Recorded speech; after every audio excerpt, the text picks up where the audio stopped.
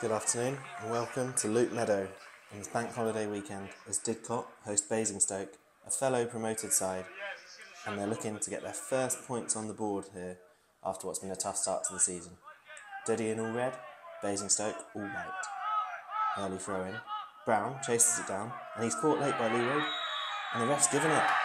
It was a clumsy challenge and it's an early penalty to the away side and that is not the start that Didcot needed. Wilson steps out over the ball. Strike. Oh, what a save. Lee Bedwell, who has a history of saving penalties, gets to another one there.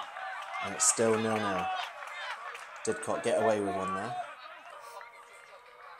He recently chopped off his locks and donated them to the Princess Trust. So he's not only a top keeper, but he's a top man. Bit of pinball in the Diddy defence. Ashy with a great first time ball. Wilson rounds the keeper, goal. 1 0 Basingstoke, and it didn't take him long to make amends for the penalty miss. With just under 7 minutes played, the away side take a 1 0 lead. And it's another tough start for Didcot. Ref's given a free kick there. Looked like it might have been a high boot, or is it that he caught, caught Glover late?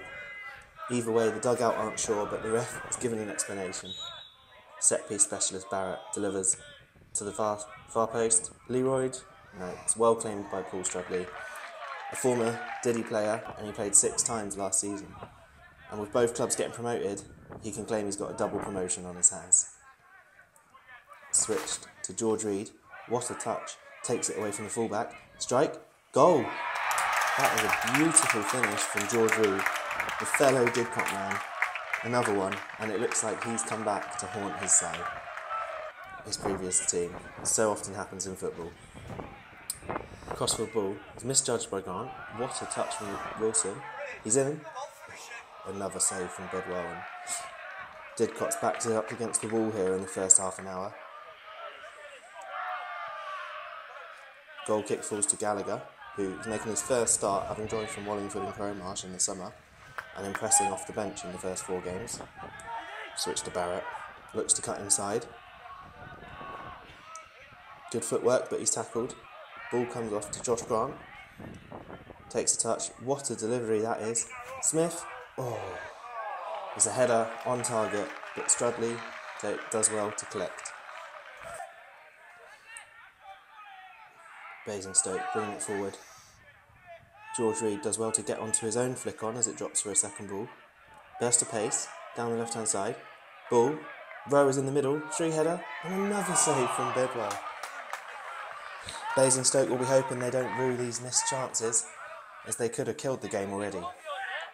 But Giles is fouled there as he looks to bring the ball forward. Another delivery from Barrett. Ollie Case jumps, gets the flick on, and it drops to the captain, and Adam Leroy heads home. 2 1. Didcot are alive and kicking in the game, and it's a first goal of the season for Didcot's longest serving player. Glover with the ball forward into the channel for Gallagher, who loves to chase. Delightful ball. Smith, surely. And I don't think Adam Smith quite knows how Paul Strudley has managed to save that. And he's not the only one. Great reactions from the keeper. At half time, Ben Putland came on for Adam Smith. First appearance of the season, and he's hoping to make an impact. Delivery from McNeil. There's Ben, and there's the impact. It's 2 2, and Didcot are back in the game. They're level, and oh, it looks like a nasty clash of heads there. Putland is down and they're going to need treatment.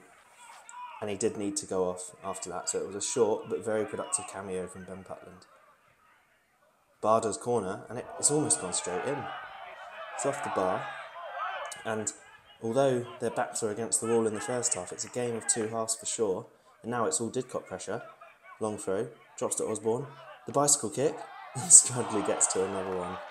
Both keepers have been in fine form today, and it's been a really entertaining game. A great advert for Step 3 football. Barder with another corner. Ollie Case jumps well, and it's just wide. It looked like Diddley nearly took the lead there, and that would have been a first goal for the club for Ollie Case, who joined from Highworth in the summer. Ball forward from the centre back. Great flick on from the substitute Clark. Rowe puts it past the keeper, and Leroy gets back well to clear. It's a Basingstoke corner. We're into added time now. There was a significant bit added on because of the head injury. Strudley forward, flipped on by Wilson, and the substitute Clark, in the words of the Basingstoke fans, he's turned into prime Maradona, puts the ball into the box. It's missed by Rowe, but not by Reed. And it's in. 3 2 in Basingstoke. Take the three points with them back to Hampshire. And that is cruel for Didcot, but there's not long to rest as they have to get up and ready for Hungerford on Bank Holiday Monday, and the search for the first point continues. A great game of football, unfortunately, still no points for the Diddy.